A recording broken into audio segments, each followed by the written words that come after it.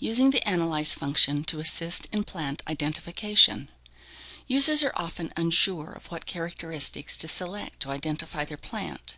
The Analyze function analyzes the remaining species and presents a list of characteristics that will be most effective in reducing that particular group of species. In this exercise, we will use the Analyze function to aid in identifying a dandelion, Taraxacum officinale.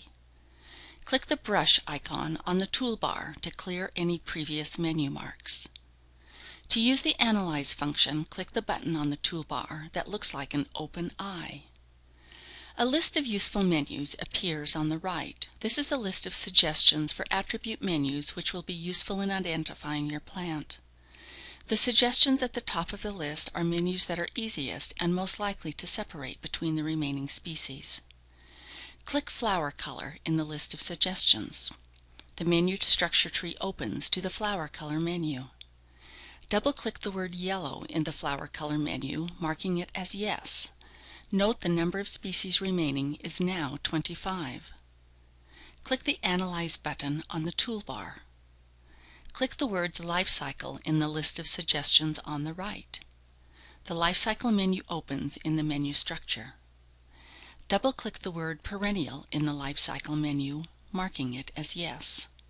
The number of species remaining is now 8. Click the Analyze button on the toolbar.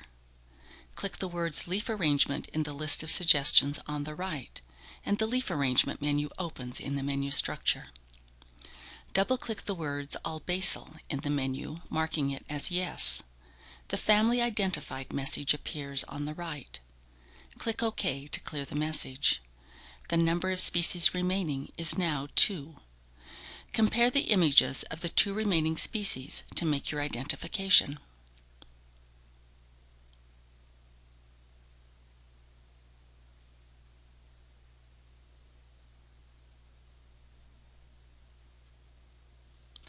The best way to use the program is to select a few attributes of your choice and then use the Analyze function when you are unsure what to do next.